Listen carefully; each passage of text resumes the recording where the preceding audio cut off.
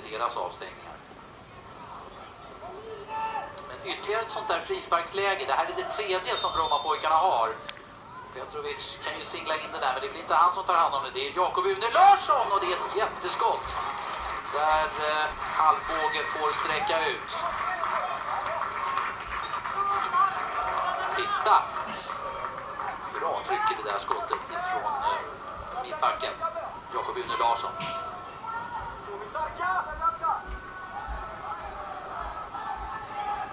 Framför målet.